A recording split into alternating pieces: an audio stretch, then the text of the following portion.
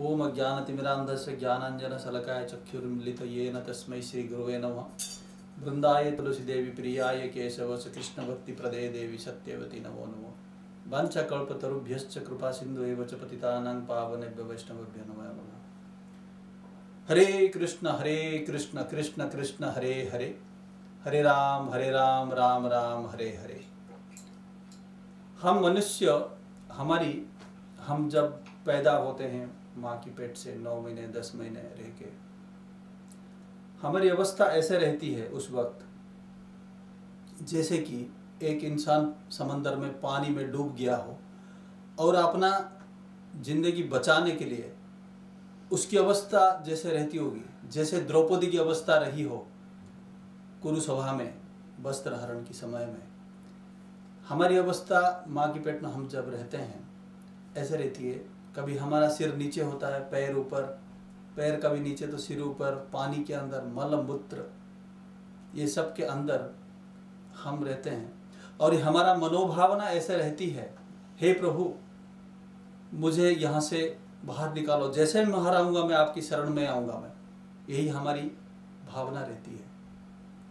लेकिन हम जब बाहर आते हैं, आपने देखा होगा, बच्चा जब जैसे पैदा होता है, वो बहुत ज़ोर से चिल्ला के रोता है वो। वो क्यों? क्योंकि माया, जैसे आते हैं तो माया उसको, माया उसके ऊपर हावी होता है। ठीक है? तो हम आके फिर माया में, माया संसार में,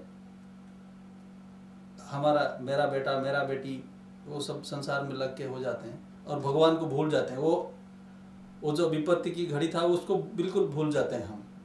हम इसमें लग जाते हैं। लेकिन उसी चीज़ से आपको भगवान की शरण में आने के लिए वही हरिनाम ही एक चीज़ है जो उद्धार कर सकता है।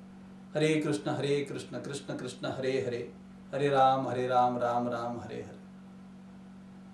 जब सुखदेव गोस्वामी पैदा हुए माँ की पेट से कम से कम मेरे को जहाँ तक याद आ रहा है, दस बारह साल के करीब वो माँ की घर में ही रहे। क्यों रहे? क्योंकि उनको पता था वो जैसे बाहर आएँगे माया उनके ऊपर हावी हो जाएगी। ठीक है?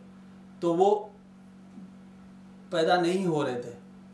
तो अंत में भगवान की कृपा और उसमें इन्वॉल्वमेंट ये रहा कि जिस वक्त सुखदेव गोस्वामी पैदा उनको कमिटमेंट कराया गया कि जिस वक्त वो पैदा होंगे, माया उस वक्त के लिए दूर रहेगी। मतलब उनके ऊपर माया का प्रभाव नहीं रहेगा और वो पैदा हुए। आपने देखा और जैसे भी वो पैदा हुए, कुछ सालों में जैसे बड़े हुए और वो घर छोड़ के चलने लगे। पैदा हुए और घर छोड़ के चलने लगे बिना वस्त्र में और ऐसे ही अवस्था में। तो पिताजी पीछे पीछे जा रहे थे। ठीक है। वो, मेरा बेटा मेरा बेटा। तो बोले तो बोले, आप कौन हो? वो माया से वो प्रभाव में नहीं थे वो। इसलिए वो संसार छोड़ के चलने लगे और कितने बड़े उनकी मुख से भागवतम सुनने को मिला परीक्षित महाराज जो है, ठीक है। तो ये है माया की प्रबलता। तो हरिनाम जो है, ऐसा एक चीज़ है, जो माया से आपको दूर रख सकता है और भगवान की शरण में लेने के लिए, वही एक चीज़ है कलयुग में। हरेर नाम हरेर नाम हरेर नाम एव केवलम कलो नास्तिब नास्तिब नास्तिब गतिरन्य था हरिनाम के अलावा कलयुग में और कोई गति नहीं है, कोई गति नहीं है, कोई गति नहीं है। तीन बार बोला है। चैतन्य महाप्रभु। तो यही कलयुग में एक ऐसा मंत्र है ये, जो मुनि ऋषि हज़ार हज़ार सालों तपस्या करते थे सत्ययुग में, द्वापर त्रेतया में, भगवान को प्राप्ति करने के लिए। कलयुग में कितनी आसान कर दी ठाकुर जी ने कि तू मेरा नाम ले और मेरे शरण प्राप्ति है। तो मेरा नाम मतलब मेरा नाम ही मैं हूँ कलयुग में। कितने भगवान ने देखा कलयुग में बहुत इतना होगा, लोगों के पास समय नहीं होगा। तो कितनी आसान कर दी। तू नाम ले और मेरी शरण प्राप्ति कर। इससे बढ़कर और क्या हो सकती है?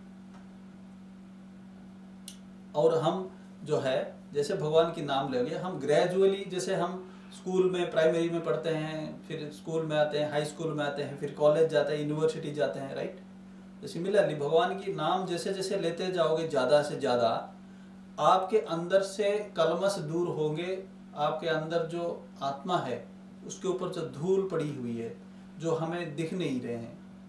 भगवान क्या है और हम कौन है, क्या है? वो सब ग्रेजुअली साफ़ होता जाएगा। जितना जितना आप ज़्यादा करोगे, उतना आगे बढ़ोगे आप।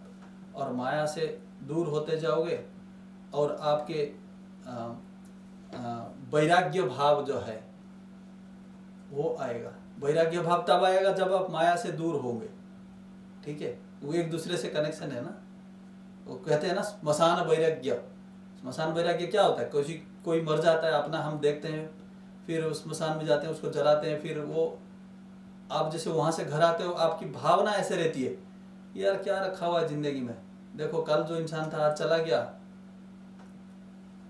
ठीक है? और वो जाते जाते उसकी ऐसा स्थिति रहती है कि उसके अंगूठी में कोई सोना पहना हुआ है, कोई चेन पहना हुआ है, कोई कुछ है, वो सब कुछ निकाल देते हैं। आया था खाली और खाली हाथ जा रहा है तू। ठीक है, वो वैराग्य भाव जो है, अपने अंदर वो जागरूक होता है। वो हरिनाम ही एक चीज़ है, आपको वैराग्य भाव में लाता है। ये संसार में कुछ नहीं रखा हुआ है। मतलब ठीक है, जिम्मेदारियाँ करो। जैसे कमल कीचड़ में रह के भी, पानी में रह के ही, पानी से कीचड़ से दूर है।